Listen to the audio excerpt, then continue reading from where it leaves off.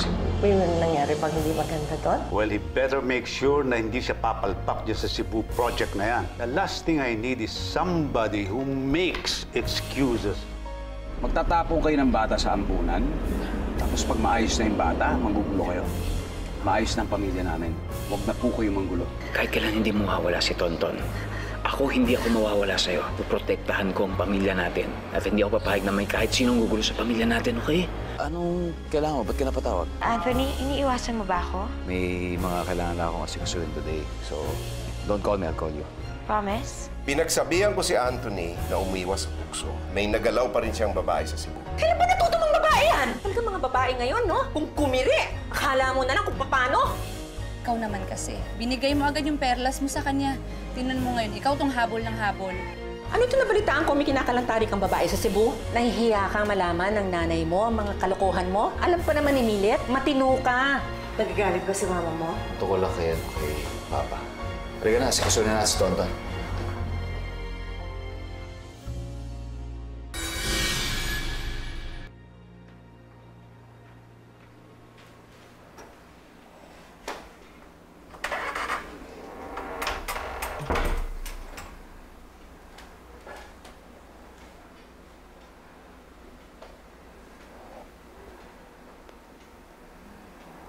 Ang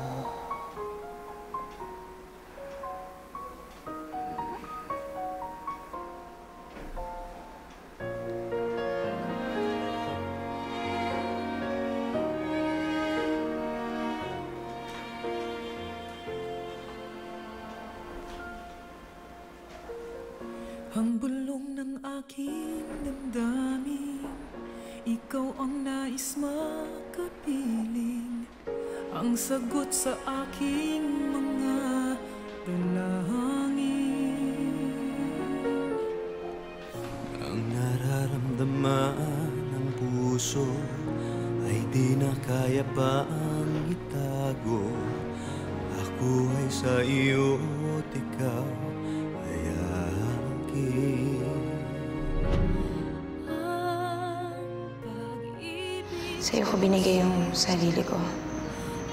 Mahal, mahal na yata kasi kita.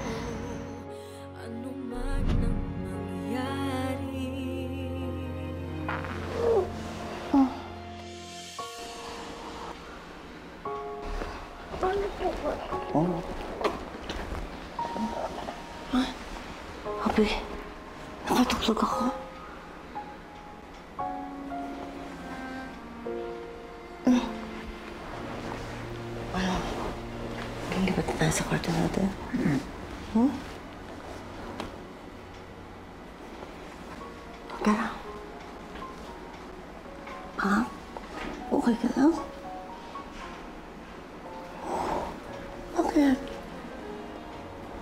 Bakit? Ano? Sabihin mo sa akin, bakit ba? Hmm?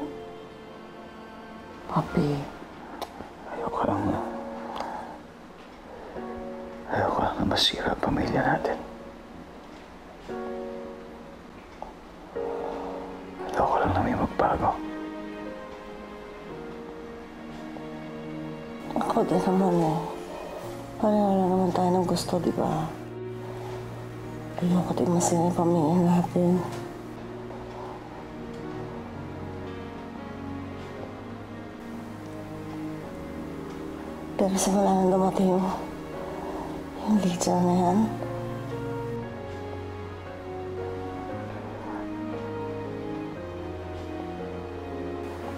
bakit ganun, no? Bakit ganun yung nararamdaman ko? Bakit hindi balikan naman ang kinuha natin yung baby natin? Bakit hindi ganun yung nararamdaman ko ngayon? Bakit? Parang tayo pa yung mali? Parang tayo pa yung nang-aagaw? Ba't ganun?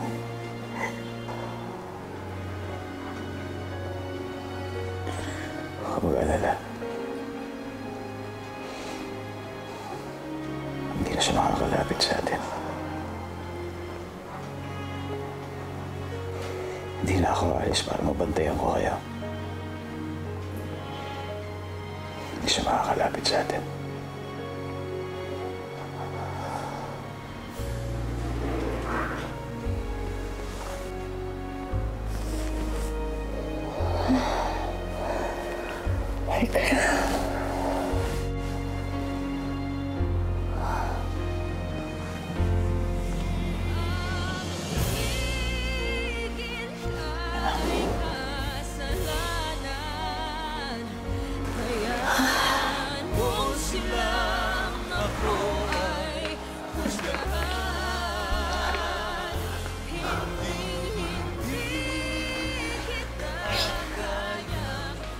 Matulog ka Tuhan. Okay lang.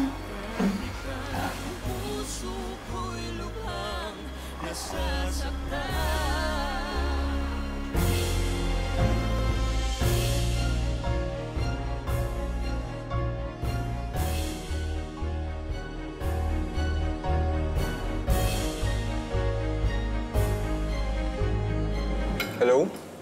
Ah, hello po, Mr. Tan. Sa lunes na lang po, hanapin niyo po si Alan Real.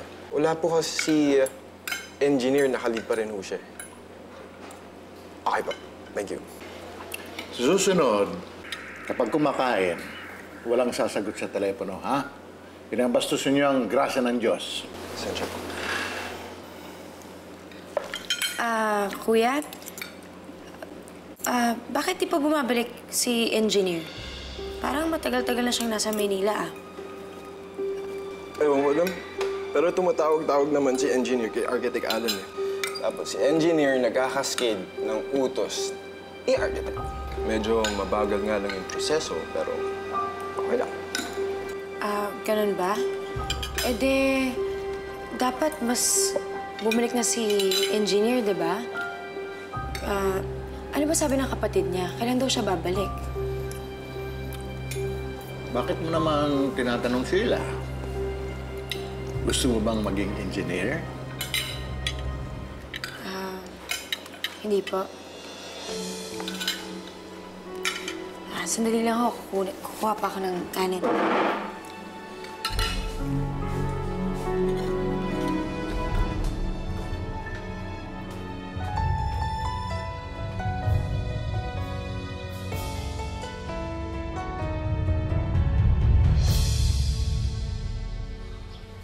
Ton, galingan mo!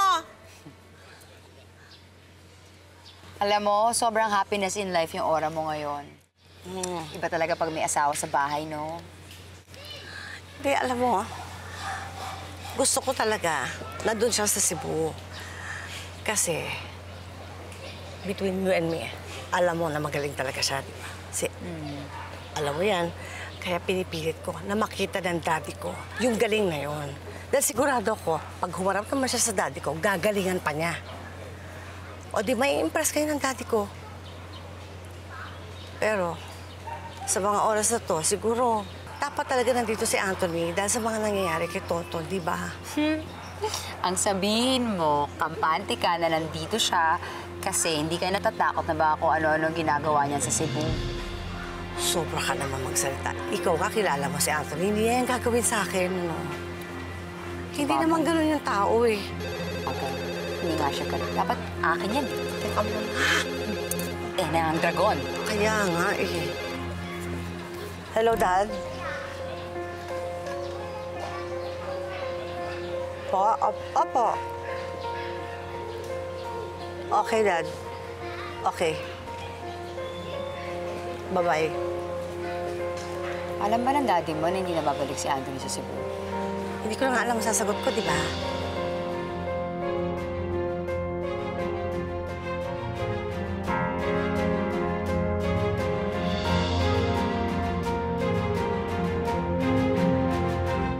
Good thing hindi na nagpapakita yung babaeng yun sa bahay ninyo. At saka yung kapatid niya. Ay nako, dapat yon yung amo niya pinalayas na si Felisa. Can you imagine that? Uh, within your village, Ma. nakatira yung kapatid Ma. mo, tunay ng... Ma! Ay, sorry. Actually ho, um, kinausap ko na po yung may-ari. Ah, sinabi ko baka po pwedeng paalisin na nga niya si Felisa. Pero apparently, matagal na ho si Felisa sa kanila.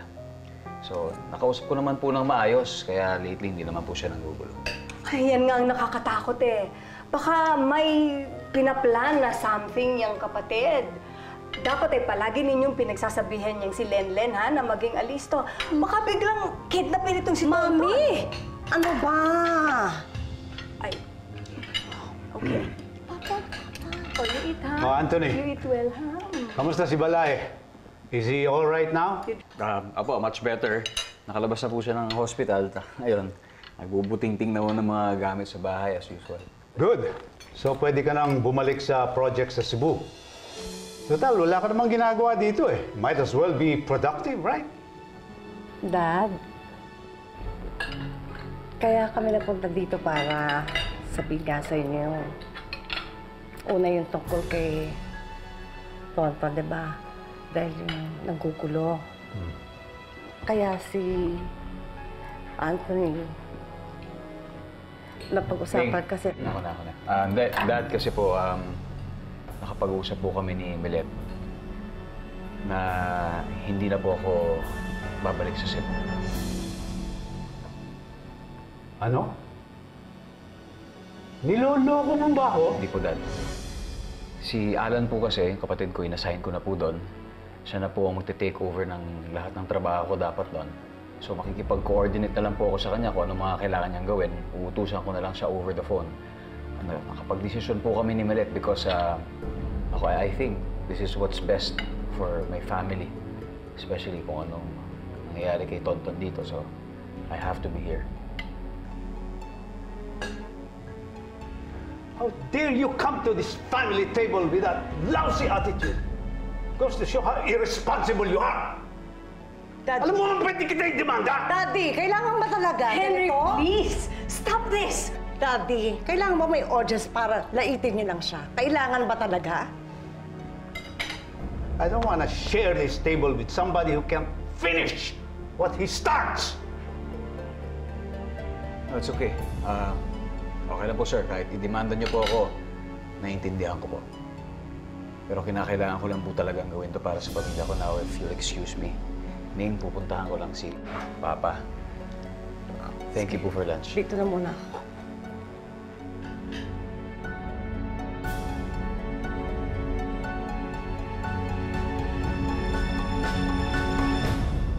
Henry, it wasn't good of you to do that in front of their child. Pinahiya mo si Anthony sa harap ni Tonton, my goodness. Eh ako ba? Hindi niya pinahiya doon sa ginawa niya?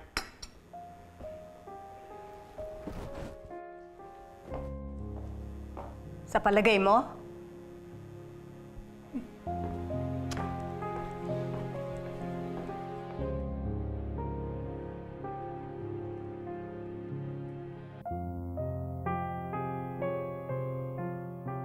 Oh. Don't tell me pati ikaw galit sa akin. Dad, in-expect ko na yung mangyayari kanina. I just don't get it, Iya. Wala na kayong problema kay Tonton. Hindi na nagpapakita na yung inang bata. Bakit hindi pa niya ituloy yung project sa Cebu? What's stopping him from accepting the job? Magandang break to para sa kanya. Pati yung kumpanya niya.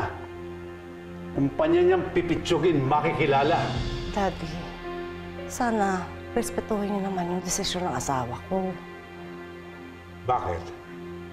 Dahil ayaw niyang mawalay sa inyo? Come on. It's not as if he's going to the US or Dubai.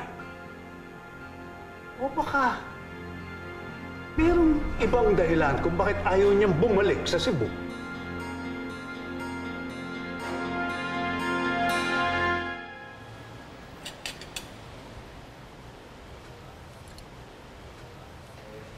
Ma, Kuya, tawagin ko lang po si ate. kasi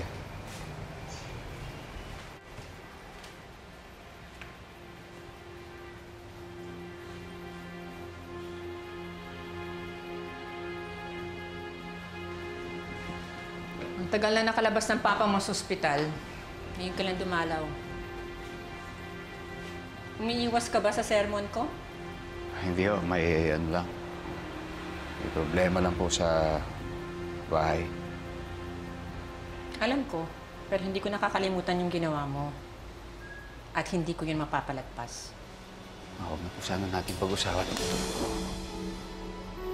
Para yan sa panloloko mo kay Milet. Hindi ka na nahiya? Anong iniisip mo nung ginawa mo yun, ha? Anthony, yung utak mo nandyan sa ulo mo. Yung puso mo nandyan sa dibdib mo. Pareho nasa taas. Para sa ganon, mangibabaw dyan! Pero ano? Yan pa rin ang pinairal mo. Nagpadala ka pa rin sa tukso! Pinagsisisihan ko naman po. Ang sinabi ko sa sarili ko, hindi-hindi na ako babalik sa Cebu mula ngayon. Mahal mo ba ang asawa mo? Mahal na mahal ko po si Milet. Kung ganon, sabihin mo sa kanya ang totoo. Kung mahal mo si Milet at mahalaga siya sa'yo, aaminin mo sa kanya ang kalokohan mo.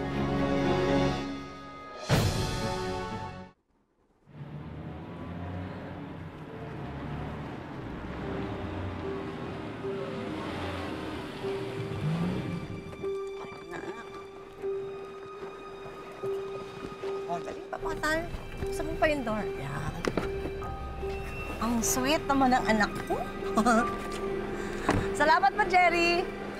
Ba't hindi po tayo natin ni Daddy? Oh, akala ko alam mo, hindi ba nandun siya sa lolo't lola mo? Hindi ba? Baka...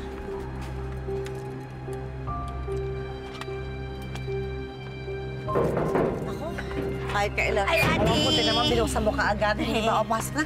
Anak, Eh, sige, Tonton. basa ang likod ng bata, ah. Opo. Papalitan mo kaagad. Sige na, sige na. Sige na, sige na.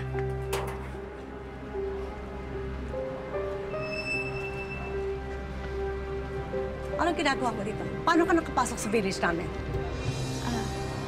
Binisita ko lang ho yung kapatid ko. Sinadya ko talagang dumaan dito para masulyapan si Tonton. Wala ho ako masamang intensyon sa inyo. Wala pa sa mga ibensyon. Hindi. Alam mo, utang na loob sa'yo, alam mo. Papahimikin mo na kami ng anak ko. Pwede. Ma'am, gusto ko lang ho siya makita kahit sa malayo lang. Yun lang ho yung pakay ko. Ay, hindi ho ako lalapit kasi ayoko na rin po manggulo. Ay, hindi ka talaga pwede manggulo. Alam mo? Hindi kayo pwede manggulo. Bakit? Dahil ako, ako ang manggugulo. Guguluhin ko kayong lahat.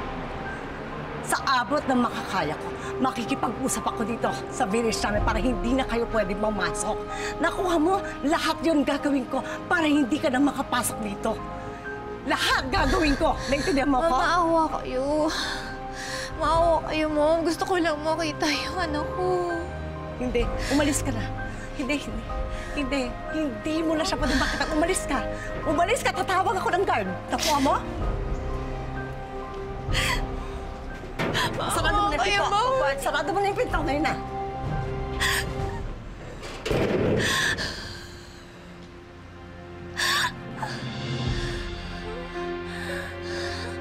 Lydia! Ay! Lydia! Lydia! Diyos ko. Dinilit mo nga yung number. Kabisado mo naman. Sus, alam ko yung mga yan, Sheila. At least, di na ako natitempt na tawagan siya. Eh, mukhang kinilimutan naman niya ako eh. Kaya, mag-move on na lang ako. Sa lahat ng nang-move on, ikaw yung galing sa wala.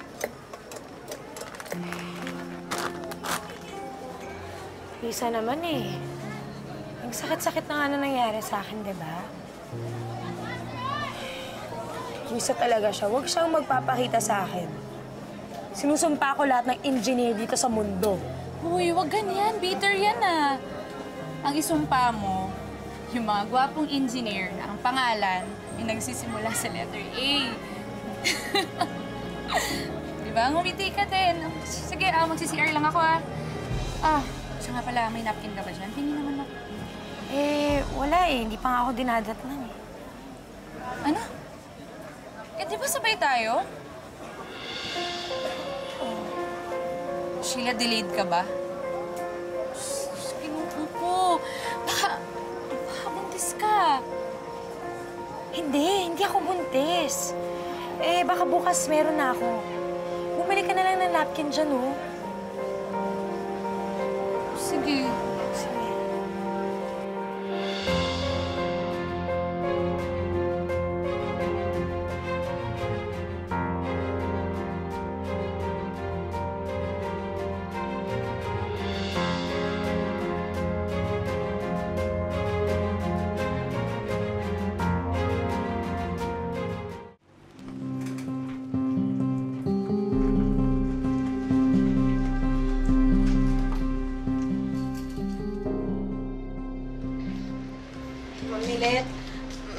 Salamat ho ulit at dinala niyo si Lydia dito sa ospital. Pasensya na po kayo kung naperwisyo kayo ng kapatid ko. Na okay na yon. Kaya lang, alam mo, sana huli na to, ha? Ma'am, may stage 4 cancer po si Lydia sa ovaryo eh. Hindi na po siya aabot ng isang buwan. O, taka muna, parang ano eh, ba't kailangan ko pang malaman yung mga bagay na ganito? Ma'am, kung pwede niyo lang po siya sanang silipin kasi kailangan na kailangan po kayong makausap ng kapatid ko. Ma, gusto niyong sabihin ko sa asawa ko na nang babae ako sa Cebu? Ay, posible naman mangyari yun. Hindi ko gagawin yun. At least nagsabi ka ng totoo. Nanggaling sa'yo. At yan ang gagawin mo. Pero ma, mabuhay ko to. Relationship namin ni Milet ang at stake. Hindi ko pa pwede pong gawin yung sinasabi niyo. Hindi ganun kadali yun. Anthony, anak, makinig ka sa akin, ha? Kung aaminin mo sa asawa mo ang ginawa mong kalukuhan, magagalit siya. Oo. Mahihirapan siyang patawarin ka. Oo. Yung buong pamilya niya, gigirahin ka. Pero at least, nagpakatotoo ka. Yun yung mahalaga. Hindi ka naglihim. Sasabihin mo sa kanya yung totoo. Nagtapat ka. Kahit na alam mong maaaring ikasira ng pagsasama ninyo. Anak, madaling magpatawad ang isang babae sa isang lalaking kayang aminin at pagsisihan ang kanyang pagkakamali. Kami nga ng papa mo, nahuli ko siya eh. Nakipag-date sa ex-girlfriend niya. Talagang nag-iskandalo ako. Pero inamin niya sa akin kung ano yung, kung ano yung dahilan kung bakit niya ginawa yun. Masakit para sa akin. Pero anak, at least nagsabi siya sa akin ng totoo. Hindi na siya gumawa ng kung anong dahilan. Kasi kung nagsinungaling siya sa akin, lalo kami magkakagulo. Pero ma, iba naman yung sa inyo ni Papa. Iba, iba yung sa amin. Mamadaling sabihin pero mahirap gawin. I know it was a big mistake, ma. At pinagsisisihan ko na po yung ginawa ko. Hanggat hindi mo inaamin sa asawa mo, kalokohang ginawa mo, kakainin ka ng konsyensya mo. Kahit kailan hindi ka makakatulog ng mahimbing. At tuwing hahalik ka sa kanya, maaalala mo ang panluloko mo sa kanya. Kung gano'n, wala na ako magagawa. Kung yan ang kapalaran ko, tatanggapin ko.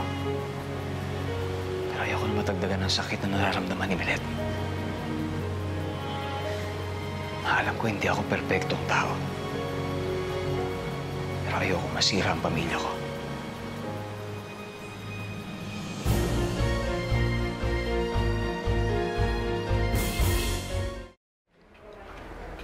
Lydia, andito na si Ma'am Milet.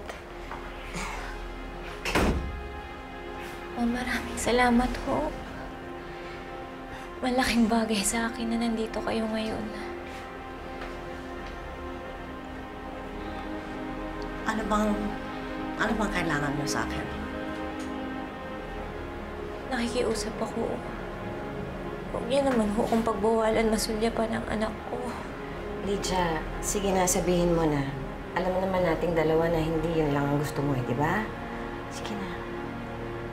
Alam niyo, mas maigi kung magpaprangkahan na lang tayong lahat dito, di ba?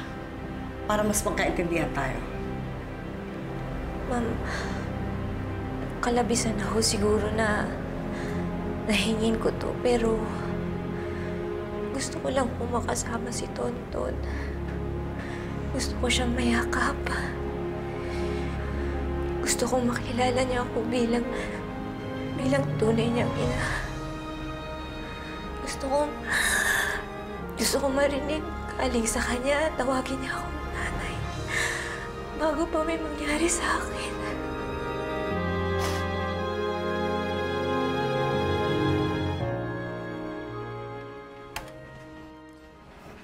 Hi, Dr. Rodriguez. Ah, you're Miss Salazar? Opo. Ah, based here sa findings mo, ah, nagbago lang ang heartbeat mo tsaka yung blood pressure ng katawan mo kaya medyo nahilo ka lang. But it's normal sa condition mo, so nothing to worry. Ah, condition ko ho? Yes, you're pregnant. Congratulations. So with that, reresetahan na lang kita ng vitamins na inumin mo para hindi ka na mahilot manghina, okay?